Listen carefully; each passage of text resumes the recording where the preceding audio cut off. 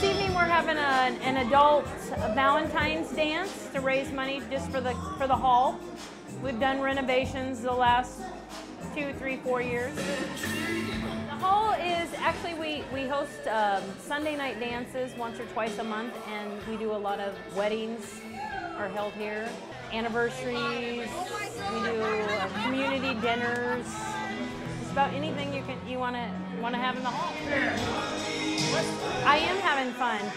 I'm having fun. Yeah, a lot of dancing and just chit chatting with um, people that were, you know, friends in the community, but we don't necessarily see each other all the time, so getting caught up.